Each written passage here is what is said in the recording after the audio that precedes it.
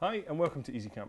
In this film I'm going to talk you through the features of our 24 litre cool box. You can see that we've got this good quality handle on top here and a nice feature here is that when it's in this position the lid is locked so nothing can fall out when you are carrying it about.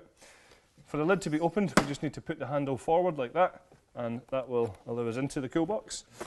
Inside here you'll see that we have a divider which can be either in this position or one just slightly further along.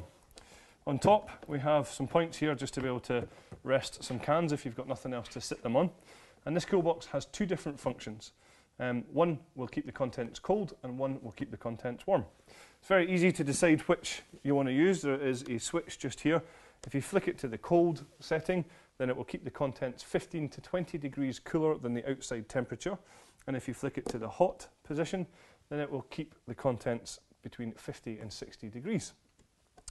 Now, the next switch along just uh, allows you to choose whether you're using the AC adapter or the mains adapter, which we supply both of, which are just uh, down here.